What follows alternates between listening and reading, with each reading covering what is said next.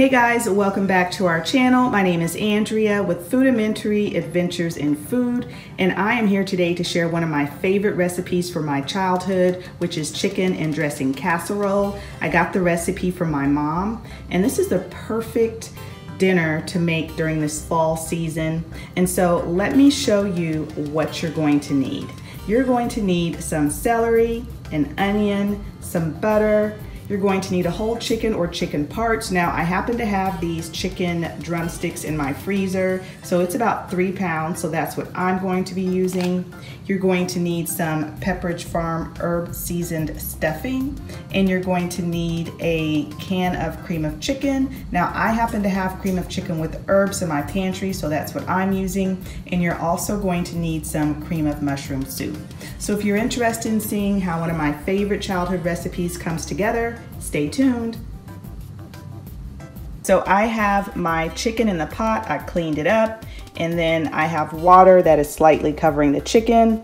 I have a celery stalk in there and I also have some onion. I added some onion powder and some poultry seasoning. I talked to my mom and she said you really don't need to add any additional salt because there's enough salt in the cream of chicken and the cream of mushroom and it'll be fine.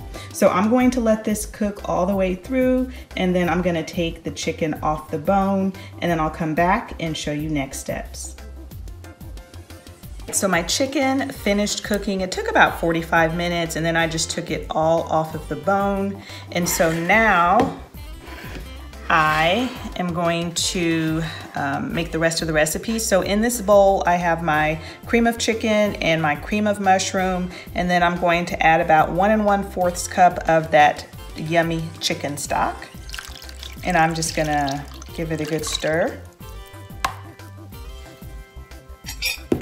Was a piece of the onion that came out. And I'm just gonna stir it up. So here's what it looks like. And I'm just gonna pour this over the chicken.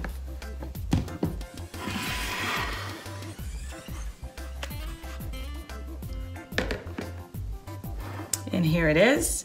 And now it's time to work on the stuffing portion.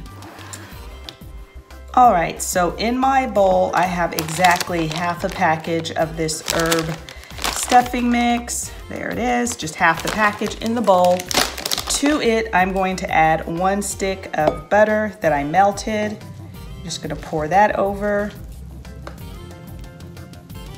And you're going to add a cup of chicken stock.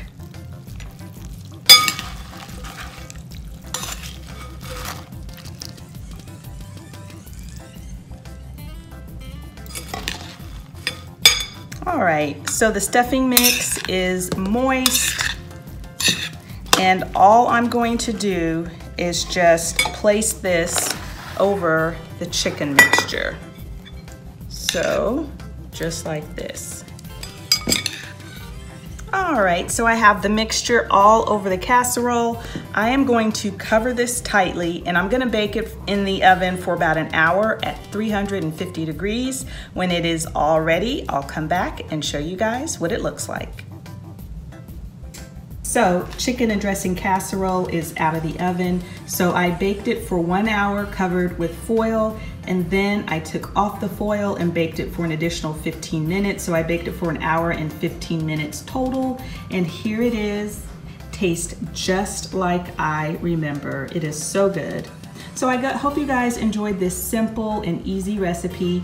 If you did, make sure to give us a thumbs up. And if you have not subscribed to our channel, I certainly hope you'll do so. Thanks so much for watching and we'll see you guys next time.